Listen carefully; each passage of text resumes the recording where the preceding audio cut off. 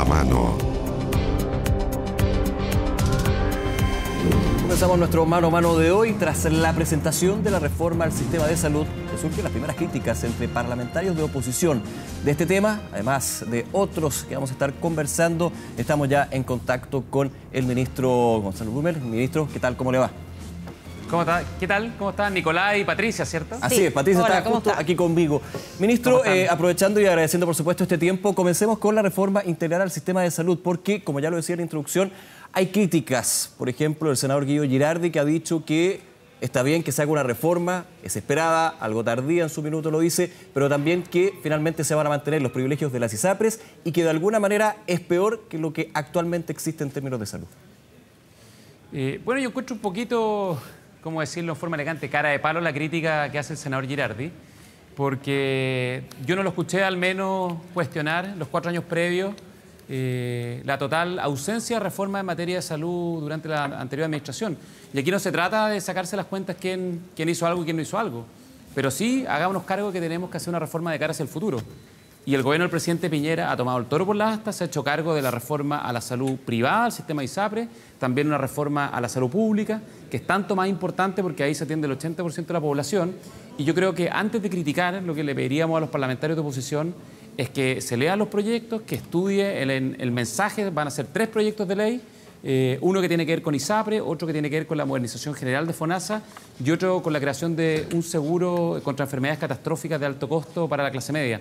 Y después de eso, en base a los argumentos, empezar a discutir, porque, porque si no, es básicamente plantear los prejuicios que tienen respecto a las iniciativas que plantea el Ejecutivo y que además son parte del programa de gobierno.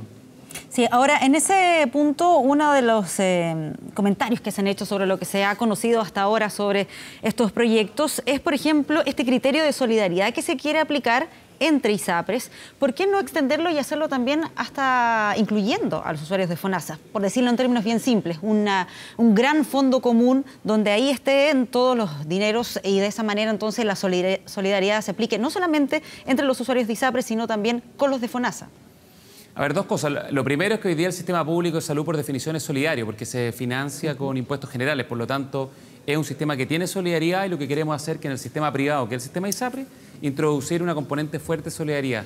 Lo segundo, nuestro programa de gobierno contempla a mediano y largo plazo efectivamente introducir una solidaridad entre los, dos sistemas, pero hoy día estamos enfocados en resolver lo más urgente, lo más contingente que es el sistema de SAPRE. ¿Por qué no abordarlo ahora, ministro, considerando que se va a dar esta discusión en el Parlamento? ¿No es el momento para hacerlo? No, porque primero tenemos que resolver el problema que tiene eh, el sistema ISAPRE. Cambiar todo como un Big Bang es una mala experiencia y que de hecho el Transantiago es el mejor ejemplo de cómo no hacer las cosas. Entonces a nosotros nos parece que lo más adecuado es primero avanzar en la modernización de FONASA, hacer la reforma del sistema de ISAPRE y una vez que tengamos los dos sistemas eh, con los perfeccionamientos que se requieren implementados, avanzar en una cosa progresiva donde se pueda eh, introducir una solidaridad entre los dos sistemas. Pero hoy día la prioridad del gobierno, tal como está nuestro programa, que lo dijimos en la campaña presidencial y así se presentó y así se expuso, es que tenemos que avanzar primero con FONASA y primero con ISAPRE.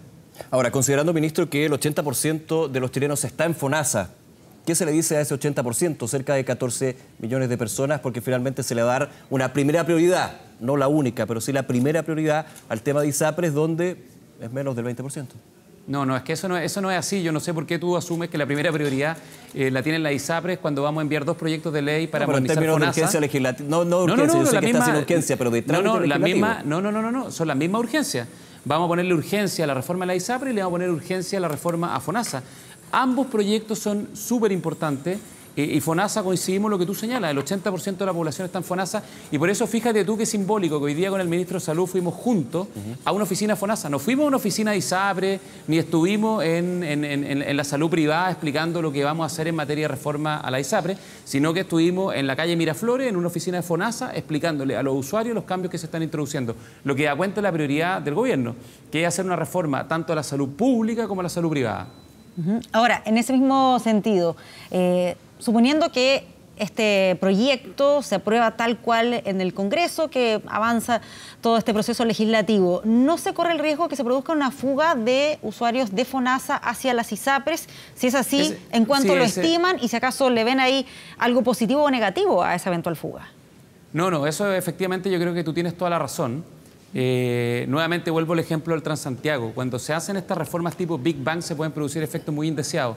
Y por eso la reforma de la ISAPRE eh, considera en sus artículos transitorios una serie de eh, elementos eh, para que esta transitoriedad sea gradual y no sea de un día para otro, porque si no, efectivamente podemos producir dos problemas. Una fuga masiva de FONASA hacia ISAPRE, donde vamos a desfinanciar el sistema público de salud, o por el contrario, una fuga masiva de la gente que está en ISAPRE a FONASA, y con eso vamos a producir el colapso del sistema privado de salud. Por lo tanto, hay normas de transitoriedad, esto se implementa en un periodo gradual de cinco años, el cambio de un sistema a otro sistema está también regulado en la transitoriedad eh, por lo tanto, nosotros eh, ese tema lo estamos viendo con, obviamente, con mucho cuidado, con mucha preocupación. ¿Hay alguna estimación, ministro, de cuánto podría ser ese cambio, por ejemplo, de personas desde FONASA a ISAPRE? Y, lo que le preguntaba al inicio, si acaso tiene eso una consecuencia positiva o negativa, porque tal vez algunos podrían decir se desfinancia el sistema de FONASA, pero tal vez ayuda a descomprimir, considerando que el 80% se atiende en el sector público. Claro, pero eso tiene un costo fiscal y eso lo pagamos todos los chilenos. Por lo tanto, hoy día no hay una estimación concreta de cuántas personas van a ser porque eh, ese es un tema que es absolutamente especulativo. Eh, y por eso se ponen normas que son bastante, eh, bastante rigurosas para establecer los mecanismos de cambio entre un sistema y otro porque en esto efectivamente, si se hace de manera muy automática, se puede producir una serie de perjuicios en ambos sistemas. Y lo que queremos es que los sistemas puedan complementarse y que las personas, lo más importante, yo creo que lo que le importa a la gente es que tenga libertad de elegir para encontrar el mejor sistema de salud. A la gente que le acomode el sistema público, nos parece bien que esté en el sistema público, por eso estamos fortaleciendo el sistema público, fortaleciendo el sistema libre de elección de FONASA, pero los que quieran estar también en ISAPRES tengan la posibilidad de hacerlo sin discriminaciones, sin preexistencia y sin estar cautivos en las ISAPRES que hoy día están cautivos. Ahora, en ese punto, ministro, ha realizado eh, justamente que finalmente es una de las pocas medidas que existen para evitar una fuga masiva de un sistema a otro que evidentemente puede tener y generar un problema en todo sentido para uno y otro sector. Se ha hablado de la posibilidad de que finalmente haya una cautividad de hecho de, de aquellos que quieren ir a ISAPRES y que estén dos años en FONASA está el riesgo también de que ese concepto de cautividad es justamente lo que se quiere atacar con estos proyectos de ley, con estas iniciativas, justamente la el libre movimiento de los usuarios. ¿Cómo se puede trabajar con eso? No, lo que pasa es que lo que se incorpora en el proyecto ISAPRE es que cuando alguien quiere ingresar al sistema ISAPRE y no está en el sistema, o sea, por ejemplo, alguien que no está en el sistema, eh, que, es primera vez que ingresa eh, como titular eh, al sistema ISAPRE o viene de FONASA ISAPRE, se crea lo que se llama el plan nuevo asegurado, que es un plan transitorio por dos años. Y una vez que se cumple ese plazo de dos años, las personas pueden de pleno ingresar al sistema de ISAPRE. Pero no es que esté cautivo eh, en, un término medio, digamos. No, no, nadie está cautivo. Si lo que se hace en el, fondo, en el fondo es tomar cierto recaudo y ciertas, eh, ciertas consideraciones específicas para que los cambios no produzcan movimientos que al final lo que puede ocurrir es que terminen desestabilizando el sistema. Nosotros, reitero el punto, nos interesa tener un buen sistema de salud público que sea eficiente, que entregue la mejor atención posible y eso complementado con un sistema privado de salud que también entregue buenas garantías de atención, que tenga componentes de solidaridad y que no tenga discriminaciones, que no tenga preexistencia. Sí, leyendo los comentarios y preguntas de, muchos usuarios ahí en las redes sociales, hay un punto que, se repite y se lo quiero plantear, y que es cómo asegurar que todas estas mejoras, que el fin de las preexistencias o estas diferencias, por ejemplo, entre hombres y mujeres, no se vaya a traducir en un aumento de precio en lo que ya se está pagando actualmente. Bueno, esa es nuestra principal preocupación, junto con asegurar un mejor acceso a la salud, que los precios bajen porque efectivamente hoy día lo que tenemos es una inflación de precios en, los precios de, la salud en general y de la ISAPRE en particular. Y en esto yo creo que hay una regla que es fundamental, que haya transparencia y que haya más competencia. Hoy día el sistema privado de salud en ISAPRES tiene más de 7.000 planes. Eso hace que para la gente sea imposible eh, eh, revisar distintas alternativas y elegir la que más les convenga. Y junto con eso, como están las preexistencias, existe la cautividad. Con el nuevo plan de salud universal, las personas van a poder eh, cambiarse con mucha facilidad porque ya no va a haber restricciones al cambio, ya no va a haber preexistencia. Y lo segundo, el plan de salud universal es una canasta de salud para todos los usuarios del sistema. Por lo tanto, uno sabe qué servicios de salud son los que está accediendo y la elección fundamental de las personas va a ser cuáles son los prestadores que más le acomodan, cuáles son los mecanismos de, deducibles que más le acomodan y cuál es el, menor precio. Por lo tanto, cuando uno tiene algo con lo que puede comparar y puede elegir, en definitiva, lo que va a pasar es que los precios debéis entender a la baja. Claro, finalmente el gran objetivo, y eso es bien importante de, estas reformas, por lo que se pudo eh, entender, es la libertad que se da al usuario. Pero una libertad que en ese sentido, ministro, también tiene que ir de la mano con información. Se ha criticado mucho, por ejemplo, las ISAPRES, que no se entiende cómo funcionan. Desde el usuario, que se puede entregar información a través de correo electrónico, mensaje, web, eh, servicio de venta, pero finalmente es poco lo que se entiende. Y cuando vamos cambiando, como se quiere justamente en los proyectos, completamente el sistema con ese tipo de deficiencias que se daban en el último tiempo, la pregunta es, dentro de los proyectos, especialmente en DISAPRES, se va a obligar, y hago punto ahí, obligar a las ISAPRES a dar información clara, simple, sencilla y muchas veces verás. Sí, lo que pasa es que hoy día, el, eh, a ver, el sistema va a hacer un cambio de paradigma por completo, porque hoy día lo que se hace es que se crea un Consejo Técnico de Salud. Y ese Consejo Técnico de Salud va a fijar el plan de salud universal, que va a ser el mismo para todos, exactamente el mismo con las mismas prestaciones, va a fijar los mecanismos de compensación y además va a establecer los aranceles referenciales de las prestaciones. Por lo tanto, este Consejo Técnico que, que, va a funcionar por alta dirección pública, que va a ser un organismo técnico independiente, va a ser el que va a definir los parámetros y la gente al final va a tener solo un elemento fundamental de comparación eh, en lo central, digamos, que es cuál es el ISAPRE que te cobra el menor precio por tu plan de salud.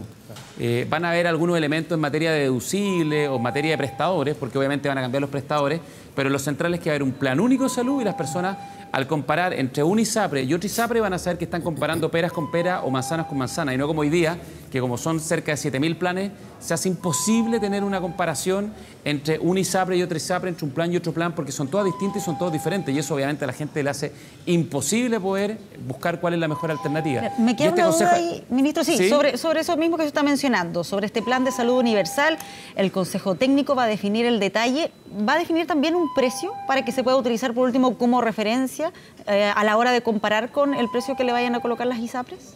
Mira, va a definir dos cosas fundamentales en, e, ese punto. Va a definir los precios referenciales a través de los cuales se van a hacer las compensaciones solidarias, porque lo más importante es que junto con el Plan de Salud Universal va a haber un mecanismo de compensaciones solidarias y ese mecanismo lo que hace es que se atenúen las diferencias que existen hoy día, por ejemplo, por edad, eh, o por ejemplo por nivel de riesgo sanitario.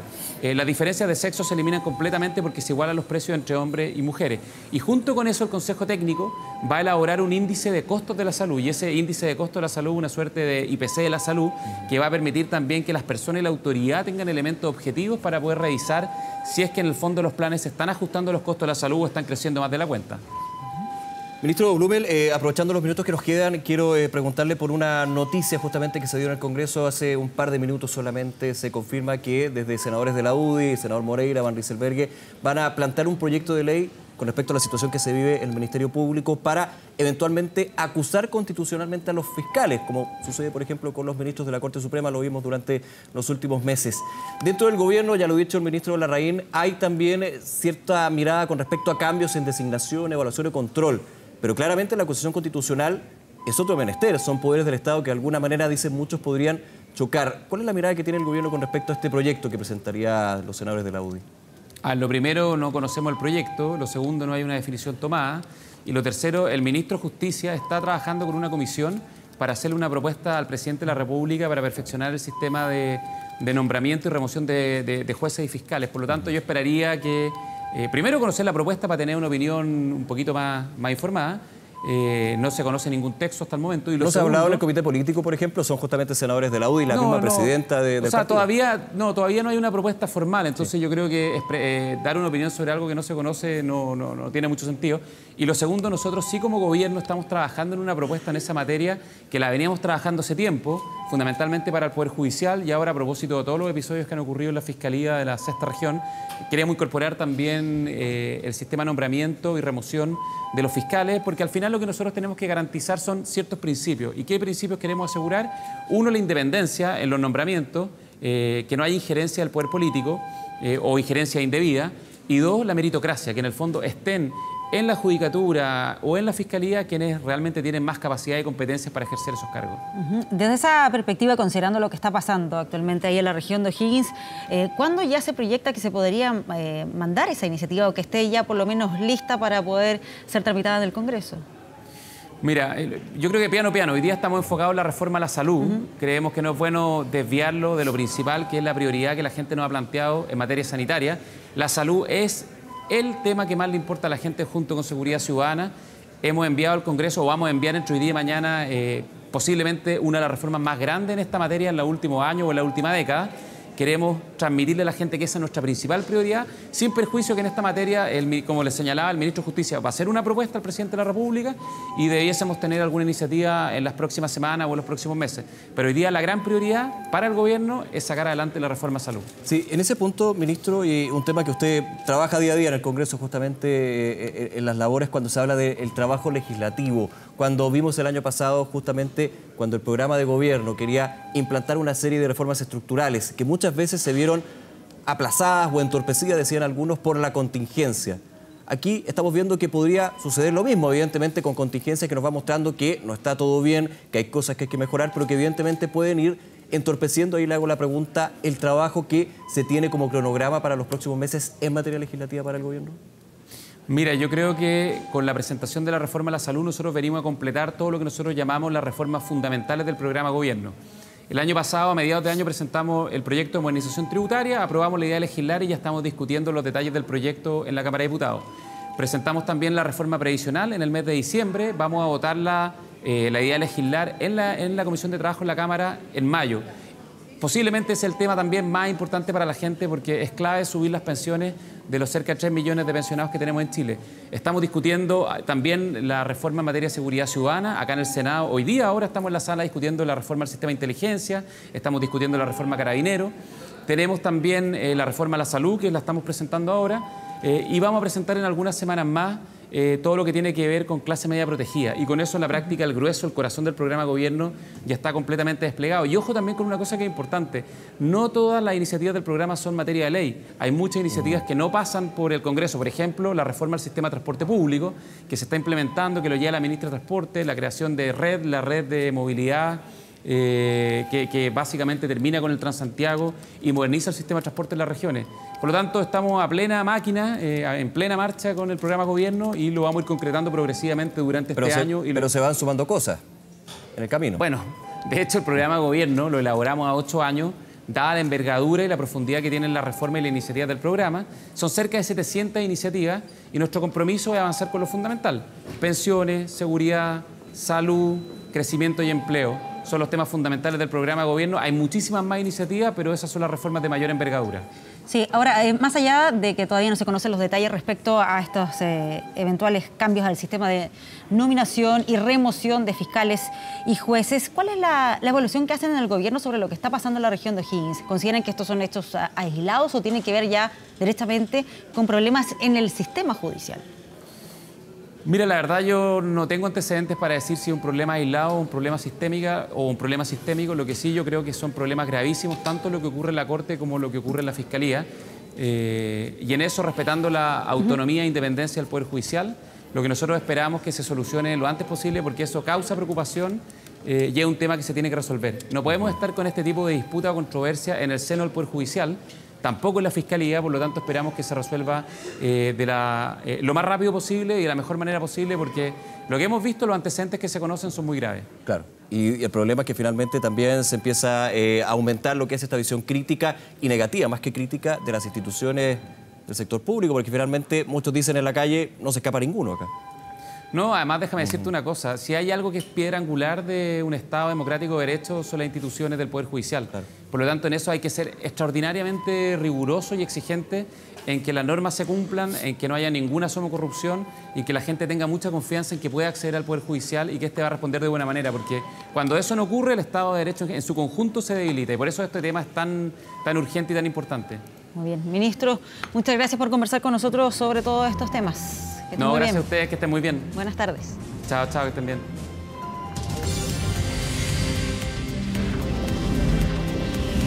Mano a mano